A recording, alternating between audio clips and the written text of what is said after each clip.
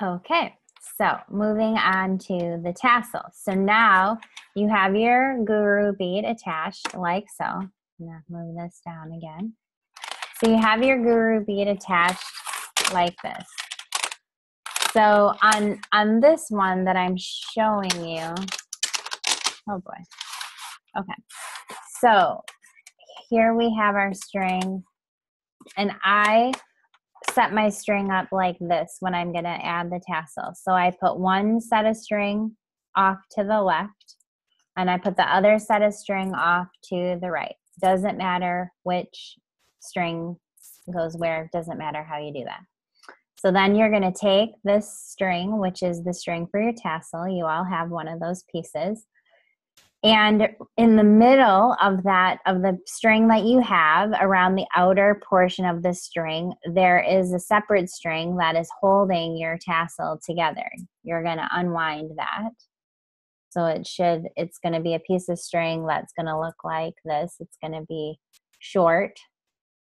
And you don't want to unravel your tassel because you don't have to put that back together but you just want to take this string off. This string is what's going to hold your tassel together so you're going to take this piece of string off and you're just going to set it to the side for right now.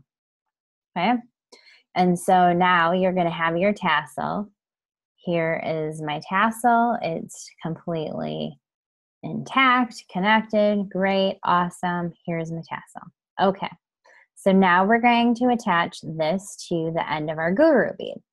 So what you want to do is you're basically going to um, half of you're going to tie a knot in the middle of your string of this tassel so that this tassel can then be basically halved over the the knot that you're going to put in it. So basically you want to take the string and you want to place it in between your string that's coming out of your guru bead and you want to again, however it works for you. This is just what I do.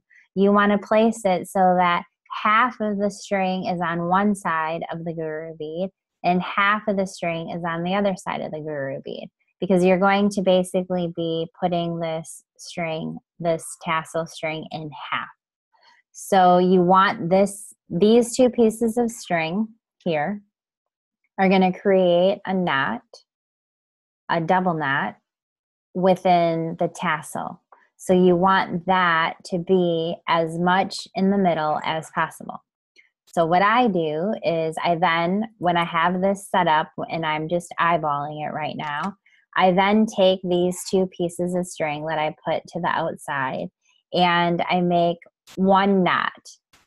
And I don't tie it really tight. I just kind of loosely tie it. And when you do that, this the tassel then tends to fall to the side, which is completely perfect and fine.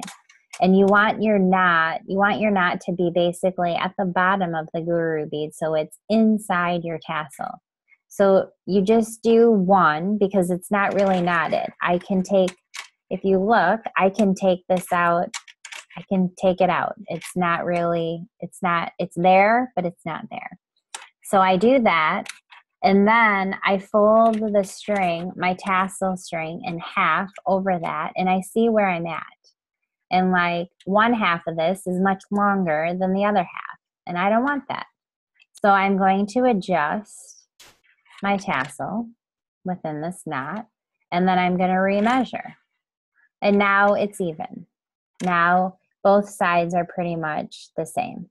So I have it where I want it. So I'm going to open it back up and I've tied one knot. So I'm just going to reinforce that one knot so that it's really tight. And then I'm going to tie another knot.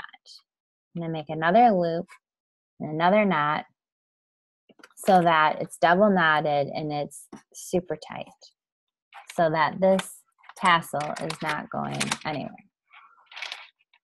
So I double knotted this and it's completely secure and in place. Okay.